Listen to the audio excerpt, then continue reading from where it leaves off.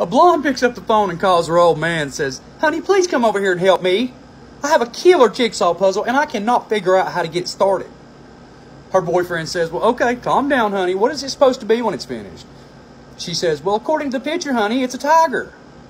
Her boyfriend says, Okay, honey, I'll be over there in a few minutes and we'll check it out and see if we can't get it all pieced together.